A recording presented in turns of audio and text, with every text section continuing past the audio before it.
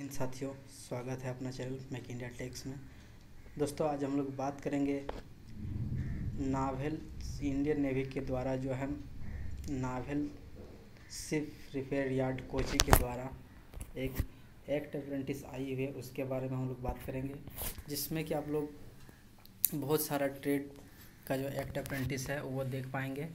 तो आइए दोस्तों, देखते हैं।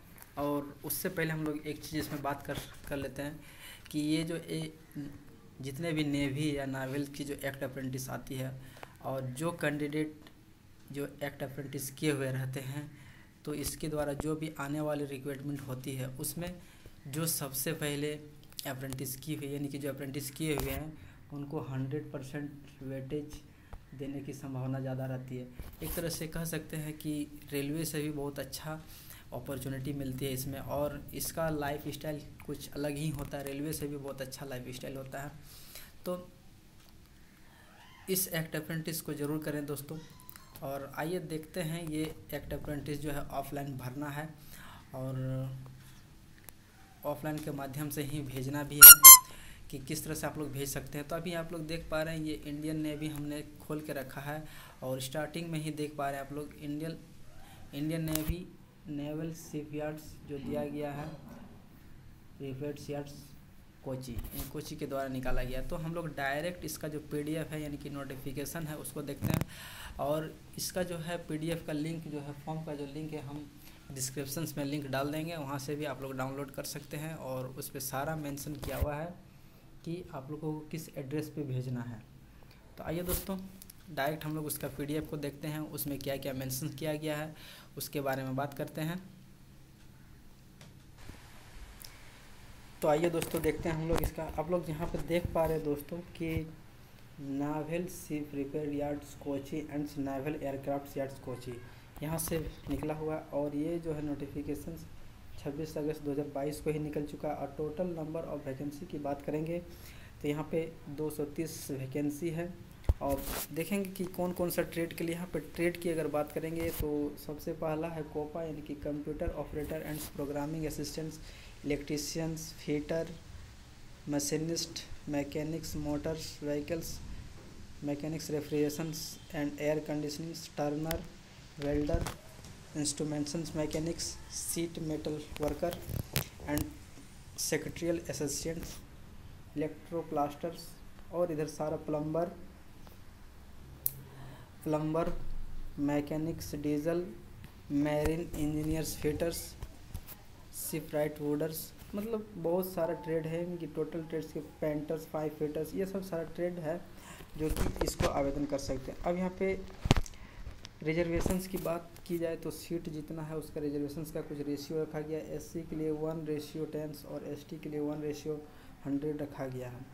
और इसके बाद इसका जो फ़िज़िकल स्टैंडर्ड्स भी रखा गया है कुछ, यानी कि थ्री परसेंट जो फ़िज़िकल स्टैंडर्ड से कुछ हैंडीकेप होगा, उनके लिए भी ये सीट रखा गया। अब एलिजिबिलिटी क्राइटेरिया की बात करेंगे तो यहाँ पे मैट्रिक जो होना चाहिए और 50 परसेंट मार्क्स का और आईटीआई एग्जामिनेशन पास होना चाहिए, वो भी 65 परसेंट के साथ। यानी कि मैट्रिक 50 परसेंट और आईटीआई जो है मिनिमम 65 परसेंट होना चाहिए। एज की बात करेंगे, हम लोग यहाँ पे अपर एज लिमिट की बात करेंगे तो यहाँ 21 साल रखा गया मतलब 21 अपर मैक्सिमम 21 और मिनिमम जो है 14 से ऊपर ही होगा सभी का 16 सत्रह, अठारह अठारह से ऊपर ही होती है। तो ये एज क्राइटेरिया की बात थी, अब हम लोग बात करेंगे इसको आप लोग कैसे आवेदन कर सकते हैं।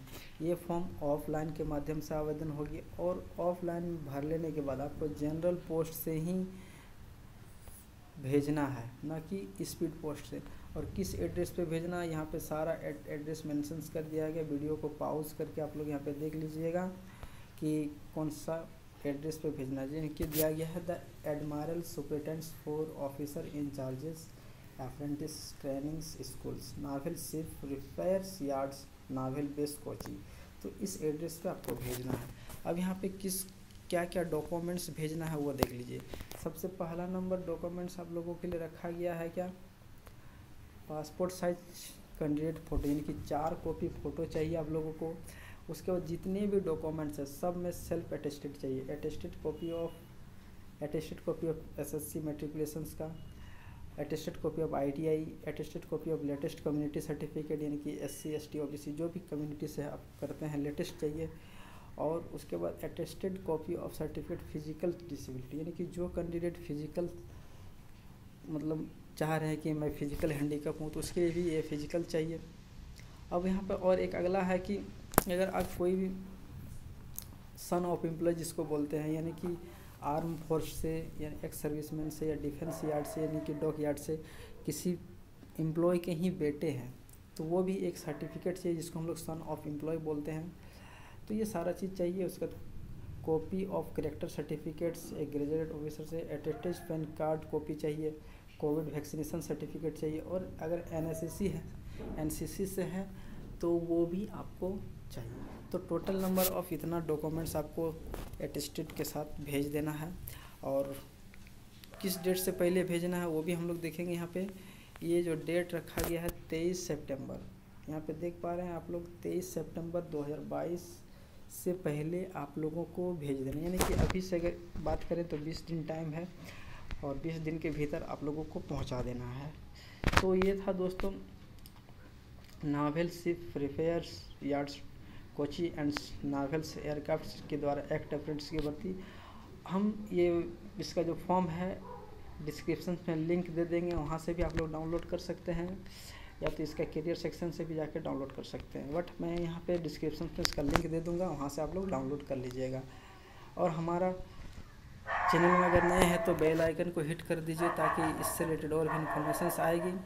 तो आप को जानकारी मिल सकेगी। और टेलीग्राम में भी नहीं जुड़े हैं तो हमारा टेलीग्राम चैनल में भी जुड़ सकते हैं। मैक इंडिया टेक्स में ही। वहाँ पे भी आप लोगों को सारा चीज़ प्रोवाइड किया जाएगा। धन्यवाद।